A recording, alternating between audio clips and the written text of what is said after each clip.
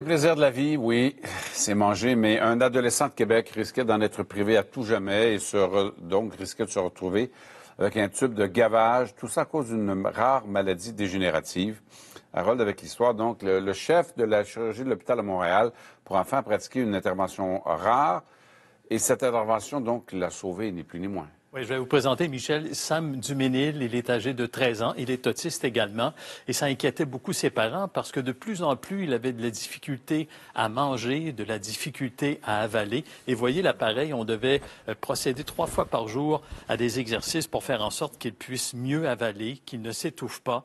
Et euh, finalement, euh, on lui a offert à Québec une intervention chirurgicale, mais on aurait dû y aller au niveau d'une incision, au niveau du cou. Ça inquiétait beaucoup ses parents. Je vous laisse tout d'abord entendre sa mère de même que Sam, euh, sa mère qui nous raconte quelle est cette maladie dégénérative? Sam est, connu pour avoir une myopathie mitochondriale. C'est une maladie dégénérative neuromusculaire. Donc, euh, Sam a développé des symptômes de cette maladie-là euh, au niveau de la, de la, déglutition, donc de la gorge quand il avalait. C'est le muscle de la gorge qui était atteint. Ça me dérangeait. C'était désagréable. Et à un moment donné, il a rencontré une gastro-entérologue à l'hôpital de Montréal pour enfants de Montréal, où il est également suivi. Et là, la gastro-entérologue a dit, vous pourriez peut-être rencontrer le docteur Sam Daniel. C'est le chef de la chirurgie.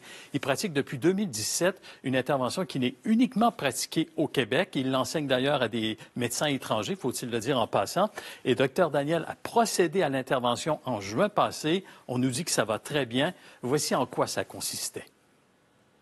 On a dirigé des caméras, des fibres optiques pour euh, se rendre euh, aux muscles qui euh, bloquent l'ouverture de l'œsophage.